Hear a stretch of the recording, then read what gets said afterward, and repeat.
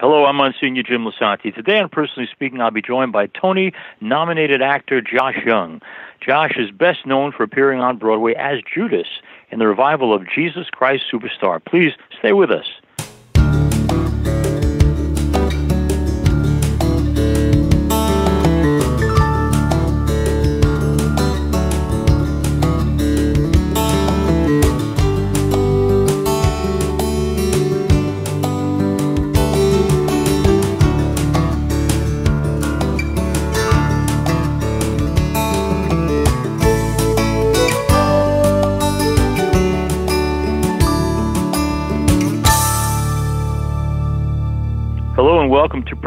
Speaking. I'm your host, Monsignor Jim Lisante. And Tony nominated actor Josh Young joins me now.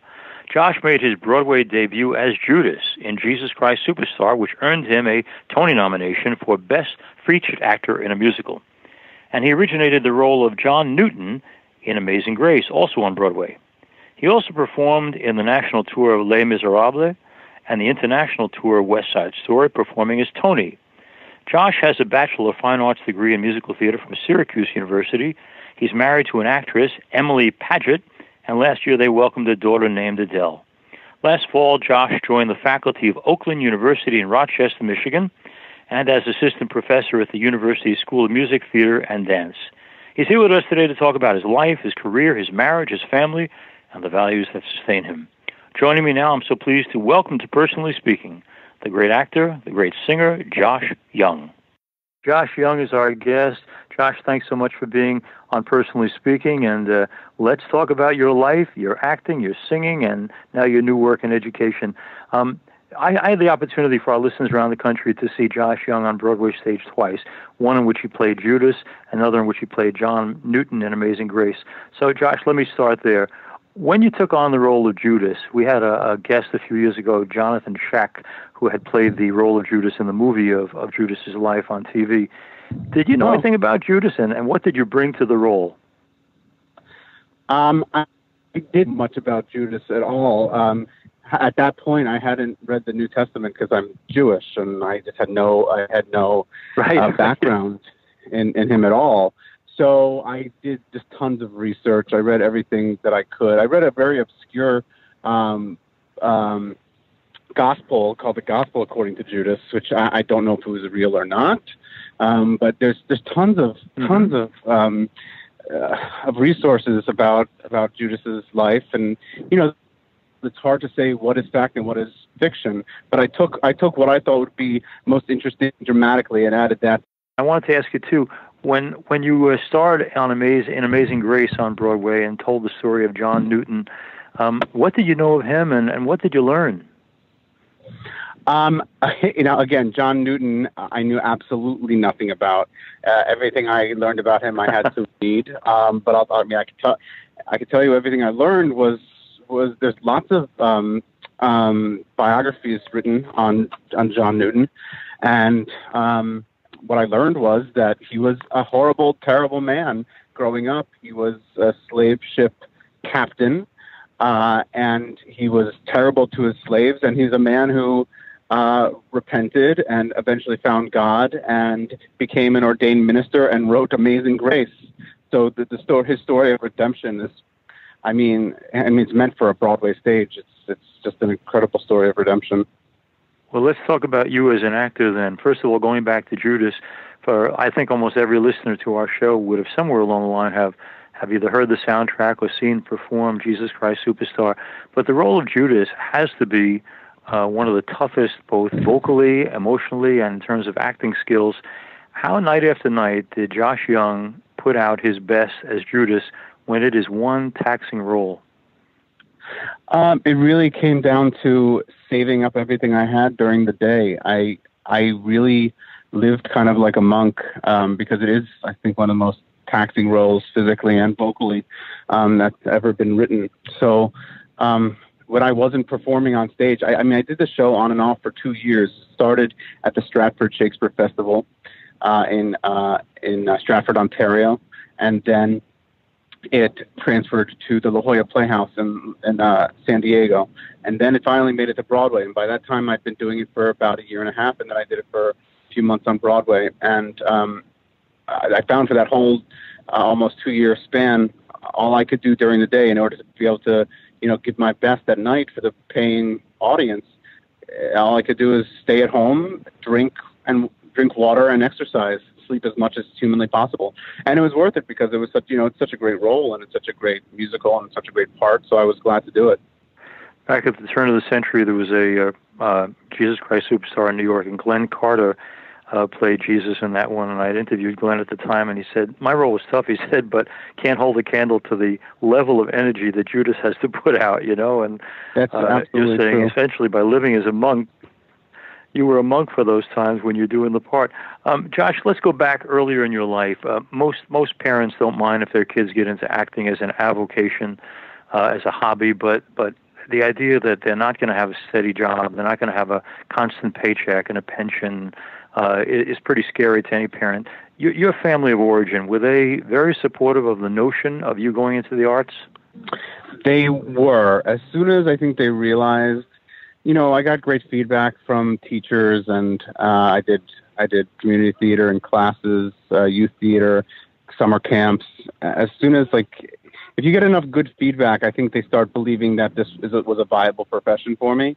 So I think once they had enough people Mhm. telling them that, they've started to believe it, and they were able to support me 100%. Also, I mean, my mother, if her mother would have been um, supportive, she would have wanted to do the same thing that I got to do.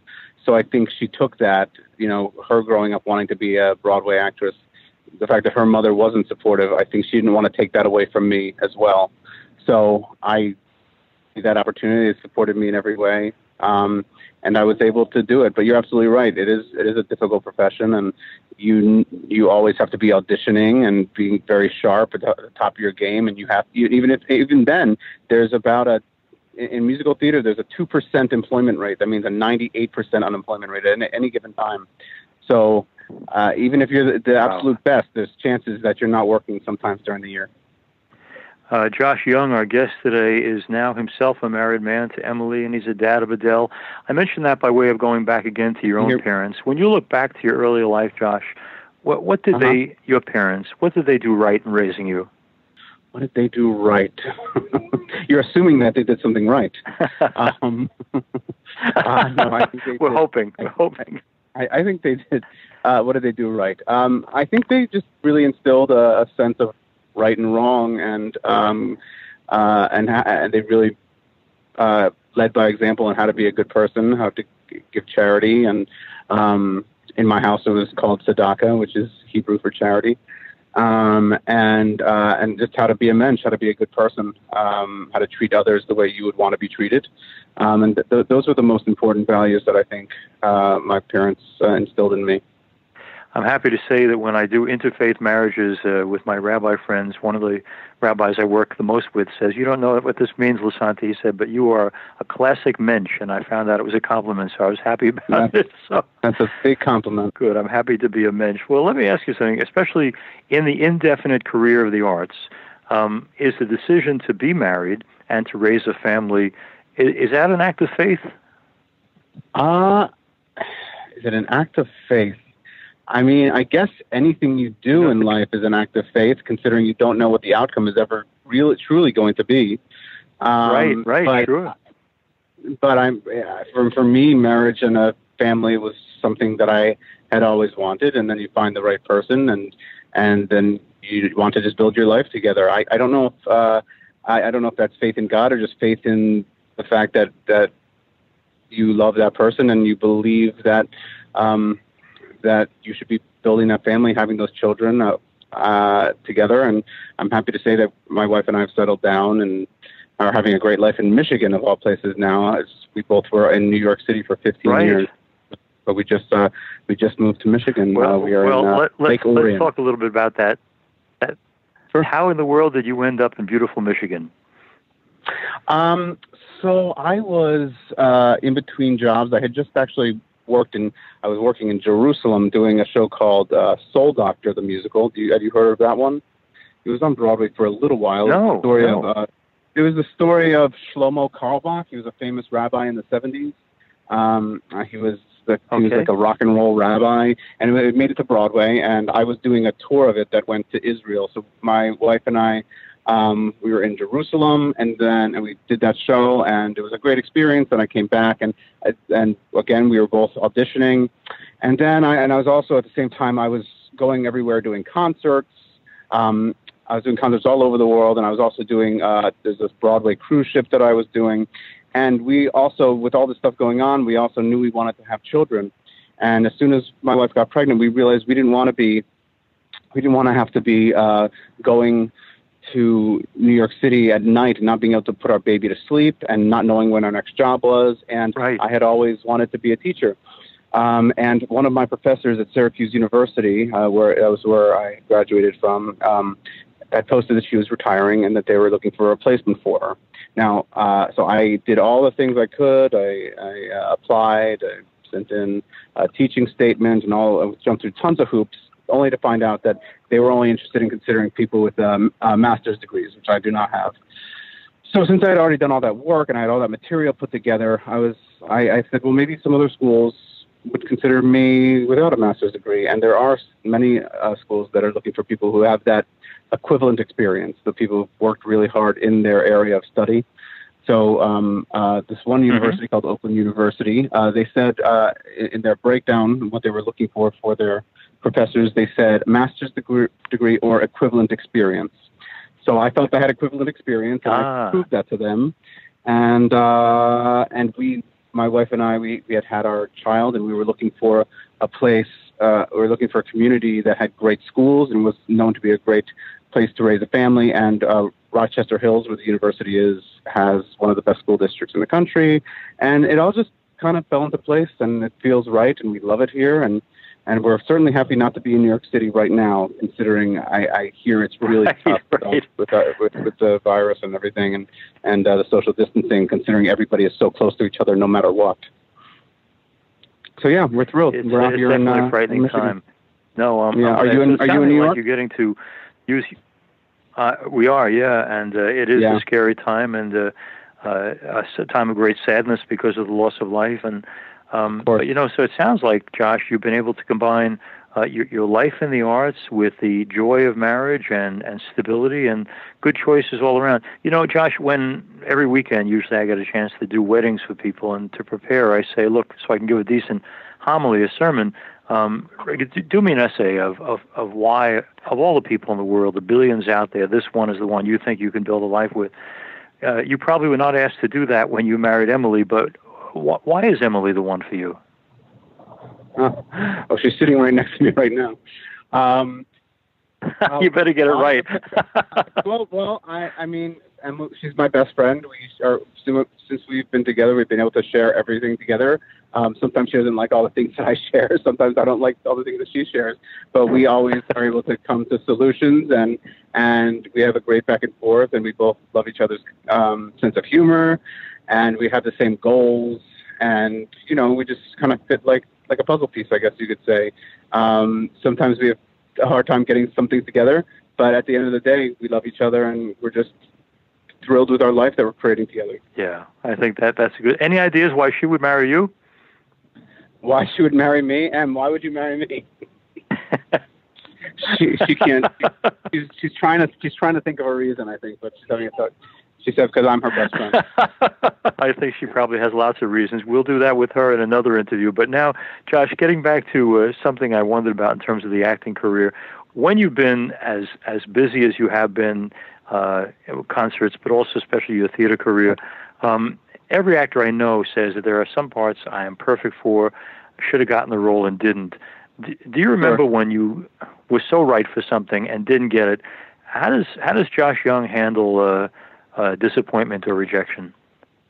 Well, I think the most important thing, especially in this industry, when you're, you need to remember that when one door closes, another one tends to open. So as long as you're going into that audition room and you're doing your absolute best work, there was one. Do you remember there was a, a little night music uh, was on Broadway? I don't know what was it, maybe ten years ago.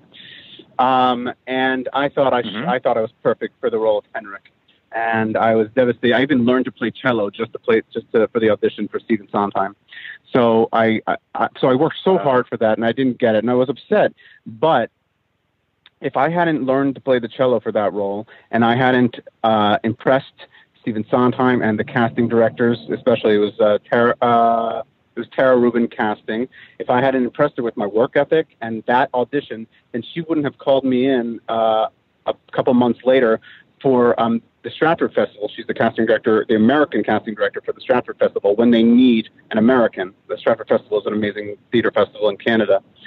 Uh, so they were doing, they couldn't find a Canadian to play the role of Che, and their, they were doing uh, Gary Griffin, uh, who um, uh, the director of the original Color Purple and many other great musicals. He was directing a revolutionary new production of, of Evita uh, at the Stratford Festival. And for some reason, they couldn't find a Canadian to play the role of Che. So they called Tara Rubin, uh, the casting director, and she said, Well, I do know this guy who was great. He just came in for me for this audition for Little Night Music. We didn't cast him in that. So they ended up casting me uh, as Che in that Evita production. And from that Evita production, the uh, Stratford Festival hired me back the next year to play Judas Iscariot and Jesus Christ Superstar. And that ended up being my Broadway debut. So, you know, it, it all came from an audition that I didn't get. So thank goodness I didn't get it. Right, right, right. Because playing the role, role no, everything Judas worked as it was than playing the role of Henrik. I think so. I think so. Josh Young is our guest, a wonderful actor and singer and performer and, and professor at the moment. Um, Josh, I want to ask you, a few years ago we had Stephen Schwartz on the show, and, and I asked him, uh, you know, aside from Pippin and Wicked, oddly enough, one of the first things you ever wrote was Godspell about uh, the life of Jesus from the Gospels of Matthew. And I asked him why, as a secular Jewish man, he would write a musical about Jesus, and he said, "You don't have to be Christian to know the world would be in much better shape if people actually lived by the teachings of Jesus." I mentioned that because sure, when you talked before about your Jewish upbringing, yeah, it's, he had great insight as you do too. But I'm wondering, yeah. when when you were raised, was was the Jewishness of your upbringing more cultural or religious or spiritual? It was well, it was very much cultural. Um, my parents mm-hmm. would have preferred that I was was that I went to uh, services and was more observant. Uh, they tr- they I did come in. I did was raised in a house where they kept kosher and they tried to instill those beliefs in me. But I I the exact so uh, they tried to raise me conservative uh, conservative Judaism, and that was a little too strict for me. And uh, mm-hmm. more recently, I've I've come around to the Reform uh, faction of, of Judaism, which I find that there's a lot more music in it. Um, there's, there's in, in conservative right. Judaism, a lot of times in services, it's all um, the cantor sings and there's no accompaniment. In, a lot of Reform synagogues, they have guitars and pianos, and it's uh, and it's more my speed. So recently, I've I've found that, and I'm loving that. Um, but growing up, my my even though my parents tried to uh, instill a uh, conservative belief. Um, it's not the way I ended up. Yeah, that's very honest, and I think that represents not just people who are Jewish, but Christians and all sorts of people that we sometimes go in a different direction from our parents, and we find our own spiritual root, which is beautiful. Well, now you two have this magnificently beautiful young daughter named Adele, and I know she's way yeah. too young to ask this question, but do you have any idea, any idea at all how you're supposed to pass on ethical, human, uh, good solid values to this baby that you love? Um, I I can only look at the way my parents raised me and try to do uh, nearly as well as they do. I, I think I had a really fantastic uh, mother and father, and, and I just I need to just try to follow in their footsteps. I know my wife was also raised really well by her parents, and I think that's just the way it is, generation to generation. Probably for thousands of years, you, you're you try to strive to be as good as your parents. Hopefully, if they were good parents, and luckily both of us had great parents. I think so. I think all we can do is watch, let her watch us be the good people that we try to be, and do the good things that we try to do, and try to lead by example. And that's what we try to do for her. She right now she's 14 months old, um, and she seems oh, pretty great so far. So hopefully it, it stays that way. Yeah. And and Josh, were you there to give Emily moral support through the birth? I sure was. I was absolutely there through the whole thing, and it was it was a little bit of a traumatic birth, but we came through it okay. We were at the uh, we were at, ended up having to be at the NICU for a little while, but um, everything ended up great. Um, I hear right now that uh, in hospitals the husband is not allowed into the room because of the rules of, because of COVID which has got to be really yeah. rough That, on, at the on moment, that's the truth. Yeah. So we're hoping, you, can, you, know, can watch when it we. by. Uh, sorry, you're saying? No, no, no. The, Uh, some guys are seeing their babies be born on screen, but they can't be there for the actual birth. Yeah. Which you're right is tough. But Yeah. you got to be Yeah. there. You got to be there Yeah, for. Adele, which is wonderful, and also important to be there for for Emily. Yeah. Yeah. It was a beautiful thing. Uh, Josh Young, I want to ask you another question about acting, which intrigues me. We live in this culture where uh, looks and youth are glorified. Um, Uh-huh. When you've been involved in acting and singing, does the process of aging intimidate you, or do you invite it? Oh well, hmm. I, I've always been somebody who's played roles younger than myself. Possibly, it, it's from a youthful appearance. Also, it's because I'm not very tall, so they always want to cast me as somebody who's younger than I am.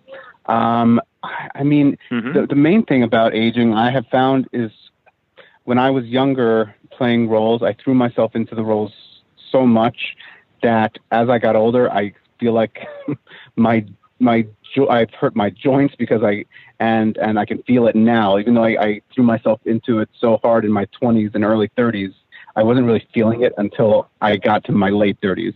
That maybe I shouldn't have given my like my 150 percent. Maybe in Jesus Christ Superstar, I shouldn't have every night jumped off a second story platform.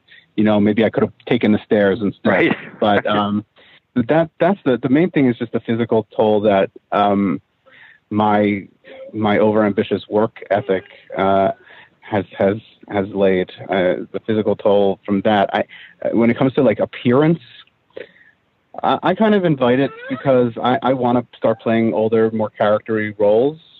Right now, I'm really only uh, Yeah. concerned about raising my family and and uh, teaching. But you know, eventually, I'd like to take a sabbatical and and and hopefully, you know, eh, not not the, if if uh, Les Miserables came back to Broadway, I would love to try to get in there for Jean Valjean. And um, but but but I wouldn't be able to do that unless I looked a little bit older, and that's the role I want to play now. So I invite it. Josh Young, are you still doing your concerts? I am. Uh, well, I have had ten canceled because of of what's going on now, um, or Right. postponed. Postponed. We've had several great. We were supposed to be. Uh, we were supposed to sing with the Toronto Symphony Orchestra last week, and that was postponed. Uh, we were supposed to sing with a couple other orchestras, and uh, we had a. Co- we actually had a. Um, we were going to be doing. And what's the theater in in Long Island? The Enigman, Engelman, Engelman Theater in uh, Long Island. We Yeah, supposed to be sure. doing there. Um, that was actually I don't even that might not have been canceled yet. It's probably going to be canceled. And we had a couple other ones uh, in upstate New York. What was it? Saratoga Springs was just postponed. So unfortunately, yeah, everything's being postponed. But we are still trying because we love that, and that's that's one way to, to kind of scratch that creative itch that we have that we get to do these concerts and we get to do them together. Right, right. To continue to use that, to use that gift of your voice and to use it in a creative way. Uh, Do you have any sense? And this is such an impossible question to answer, but do you have any sense of uh, when people might start coming back to theater and to concert halls again? Uh, well, I hear there's uh, um, there are some uh, theaters that are trying like this very week to to reopen, um, but to like reduce the capacity to twenty percent, so that there's at least 6 Mhm. feet in each direction. So it's going to be a so maybe you know they're going to start that way soon, where you have a, a theater meant for um, a thousand people and you end up putting in two hundred people, um, and you know that might just barely covering cover operating costs. Uh, hopefully they'll start doing that with um, hopefully they'll start doing that with concerts as well pretty soon. But I don't think things are going to get back to normal until there's a uh, a vaccine for um, for what's going on. Until people because the the tough thing is in theater you're it's a it's a ton of people squeezed into a small space, and that's the recipe for disaster with um, with any kind of Right. uh, airborne airborne virus. So you know, I, I feel bad for all of my friends who are actors right now. They have no idea when their next job's going to be. Um, I feel very fortunate to be where I, where I am, but also I I miss doing what I love to do. So I'm just hoping that this all ends soon and everybody can go back to what they were doing before. I was in New York uh, attending a showing of the new the new production of Who's Afraid of Virginia Woolf, and I turned out to be Uh-huh. at the last performance because the next day Oh, theaters were closed down, and it was sc- scary to see that you know we we all had a great time. It was a great play, but that that kind of chance for enjoying theater might not come for a while. We are here talking to the actor, singer, performer, teacher Josh Young, wonderful talent. Josh, I promise I'm wrapping it, but I our last guest in the studio before we had to close down, actually doing interviews in the studio, was the actor Reeve Carney, who was starring in uh, Hadestown, Hadestown, and uh, he said that part of part of his job is not only to do what he does on stage, but also that he spends endless time at stage door seeing people who have come to see him personally. How do you Yes. how do you handle? How did you handle? How do you continue to handle that that that very sensitive line between what I offer on stage well, versus how much do I have to give to? It's a really good question. And the truth of the matter is, at the end of the day, we are hired to perform for those uh, two to three hours. Um, the stage door, I Yeah. really feel anything at the stage door is extra. And some people have the stamina to go and do that. But often, depending on the role you're doing, you need to, after the show, you got to go home and rest. And you can't talk to people over, you know, people are very loud there. And you're, by, by talking, um, by talking over all those people in a crowd waiting for an autograph, you're shortchanging the next night's audience because they're not going to be able to get 100% of you because you gave more at the stage door afterwards. So I strongly feel that it's great those people who can do that. Uh, and sometimes, some nights you feel great afterwards. And if the role you're doing a role that does not take everything out of you, great. Say hi to the people who who do pay to see you, but they're not paying for a stage door experience afterwards. And I think sometimes people get really upset when their favorite people are not at the stage door. But I do think they need to know that what they're paying for is our performance and not our stage door performance. I want to thank Josh Young for being with us. I hope our listeners will both go to see him in concert when our concert halls open again. See him in theater because he's a terrific actor as well as singer. And uh, and Josh, thank you for talking to us today. Thank you for uh, uh, finding great things to say about Emily. Keep that up and enjoy the great gift of Adele's life. And we hope to see you on stage and performing very very soon again. Josh Young, thank you so Thank much. Thank you very much. My pleasure. Thank you. Bye bye. As we end today's program, I want to thank you all for being with us. If you'd like to listen to this show or other shows, you can go to our Personally Speaking podcast. They have other recent shows as well. You can go to that on YouTube by searching for Personally Speaking with Monsignor Jim Lisante and subscribe. Personally Speaking is also available as a podcast on Apple Podcasts, iHeart, and Spotify. You can also listen to past episodes by going on to www.closeencountertv.com. All one word, closeencountertv.com, and clicking on the radio button at the top of the page. I'm privileged to serve as host and executive producer, personally speaking. Our producer is Lisa Jandovitz. Our engineer is Chris Wallach. And our audio facility is Dream Recording Studios in Bellmore, Long Island, New York. Thanks so much for joining us. We'll be with you again next time on Personally Speaking.